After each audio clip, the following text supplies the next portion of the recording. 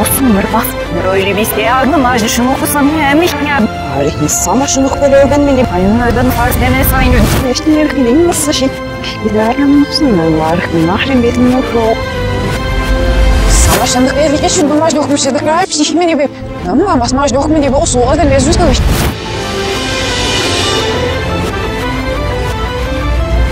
Neme? Şarkışına çok olmalı o neme. Allah'ın